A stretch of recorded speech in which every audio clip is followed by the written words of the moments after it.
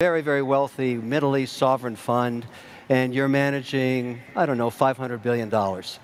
And you don't need any more oil as an investment because you've already got that in the ground. So you go to an indexer like me and say, look, give me the S&P, less energy, less airlines. And that's what indexers do.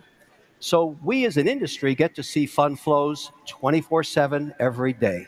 And there are billions of dollars out there waiting for policy because for all the excitement about Bitcoin, for all the excitement about crypto, for all of the wonderful productivity, these products and blockchain, and everything that's promised that you're going to be hearing about the next three days, these massive pools of capital, these trillion dollar pools, own this much crypto, this much, practically nothing. It's the purvey of high net worth individuals, hedge funds, and retail investors. And that's okay but what we're missing is policy. When we get policy and the regulator regulates, that's not a negative thing. The spigots of capital are going to flood into this sector like you've never seen. And so, for those of us that can invest in it now, you're getting ahead of what's going to be a, huge wave of interest when policy occurs. I predict in the next 10 years that crypto, blockchain, Bitcoin, all of this innovation will be the 12th sector of the S&P.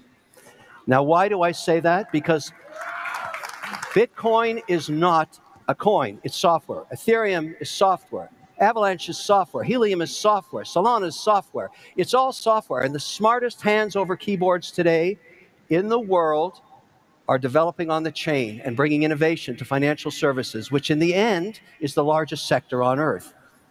Now, what we need is policy. We need government to catch up with us so that we don't lose leadership in America to this very important 12th sector of the economy.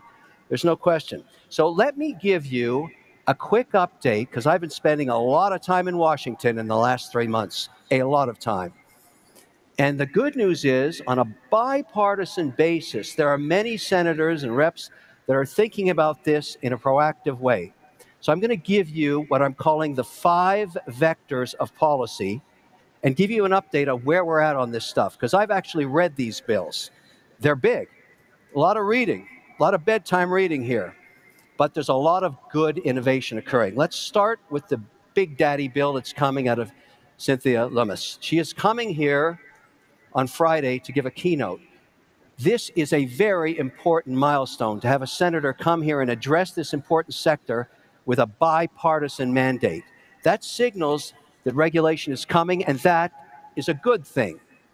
That's vector number one. Vector number two the president himself, in his direct order, his executive order, talked about crypto as something that he wouldn't make illegal. That was most important message in there. But there was also a concern about climate change, which I'll get to in a minute. Then there's BlackRock, the Larry Fink mandate that is discussed this sector as well. Also, a concern about ESG and climate change. Bill Hagerty dropped a bill. Two pages. I spoke to the senator last night. A two page bill that would make stable coins legal. This is a genius piece of legislature. If it's two pages, every senator can read it. And it's very simple. What this says is this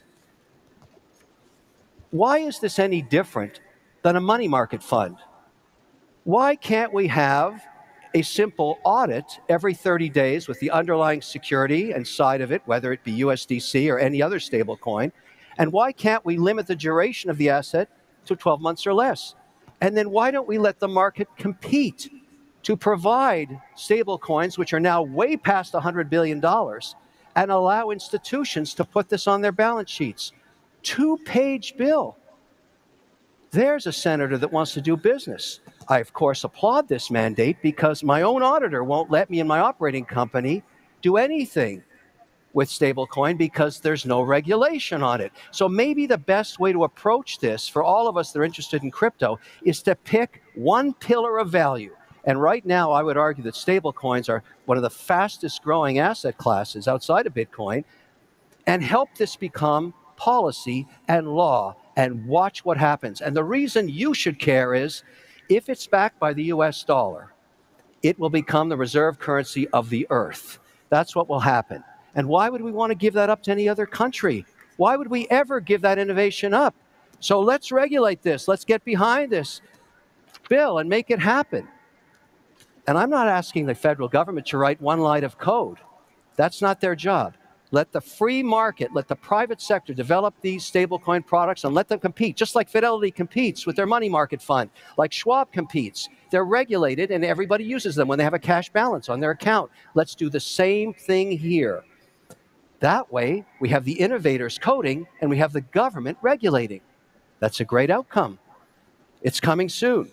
Now, let's talk about the minefields in the five vectors of policy. We'll start with the SEC.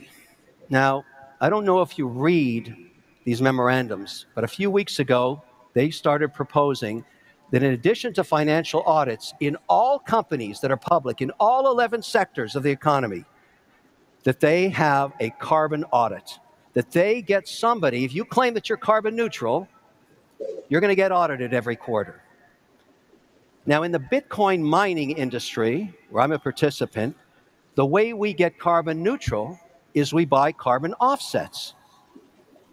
The problem with a carbon offset is the tracking error is so huge that no public auditor will sign off on those statements. You can say you're carbon neutral, but there's nobody going to sign it at the risk of being offside with the SEC. So if the SEC adopts that policy, that's bad for proof of work. And it's bad for Bitcoin mining because the first pioneers of this in the US were very concerned about being ESG compliant and they went to that market.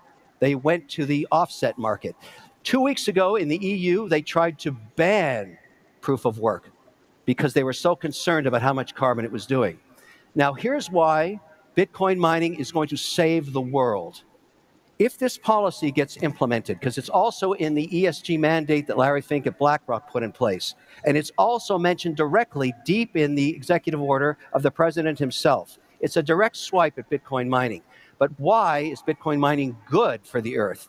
Because the next generation of Bitcoin miners, and some of them are represented right here, are starting to work with energy that does not require carbon hydroelectricity and nuclear power, wind and solar.